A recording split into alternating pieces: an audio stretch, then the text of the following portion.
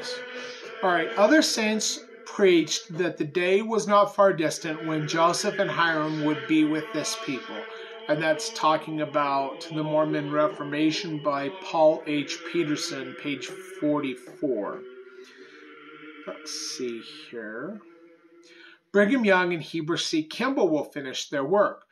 You will be blessed and will see the day when the Presidents Young, Kimball, and Wells and the 12 apostles will be in Jackson County, Missouri, laying out your inheritances in the flesh. Of course, we should look well without being in the flesh.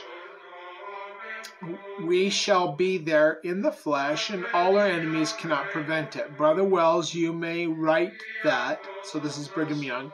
You will be there in Will, Willard will be there, and also Jedediah and Joseph and Hyrum and David and Parley, and the day will be when I will see those men in general assembly of the church of the firstborn in the great councils council of God in Jerusalem too.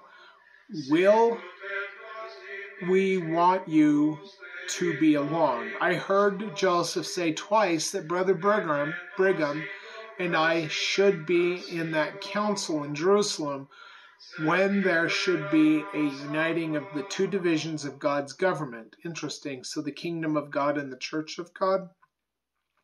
Journal of Discourses, Volume 9, page uh, 27. Heber C. Kimball talking about Brigham Young and, himself with others. So that was Heber C. Kimball. I'm sorry. All right, so that's the end of chapter 16. When we come back, um, will be in chapter 17, Joseph, and some thought provoking possibilities. So, the early brethren of the church believed that Joseph Smith would return in the flesh upon the face of the earth. And um, I think there can be a place for this. Now, I haven't been revealed that for sure. All that I know is that God revealed to me that um, that when a new heaven and a new earth is created after the resurrection, that we will have the opportunity to put off our resurrection and go on a new earth in a new mortal probation that we may gain a higher resurrection. And that as long as we remain in the resurrected bodies, that we're damned from progressing, but that we have the opportunity to progress by putting those resurrections off and going on the new earth to go through the experiences needed that we may gain a higher resurrection. But but God told me there was more to it, and I don't fully understand what that means, but I do think that there is a place for Joseph Smith to return upon the face of the earth. Now, I don't proclaim to be. I am a literal descendant of King David through my father's mother, who was um, Lucille Rezovitz, who is a Czechoslovakian East German Jew.